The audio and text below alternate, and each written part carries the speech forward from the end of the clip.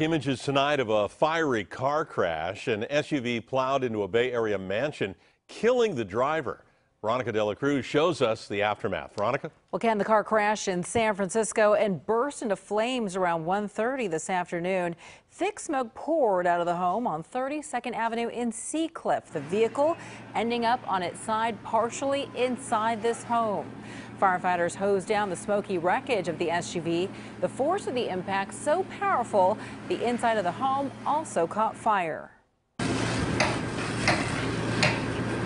Firefighters kicked their way through the front door. They knocked down the fire pretty quickly as neighbors looked on in disbelief. Right now, we know the driver of the charred car is the only victim.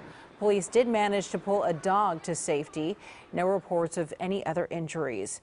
And no word yet as well on what caused this, though it appears the SUV may have struck a pickup truck before that crash.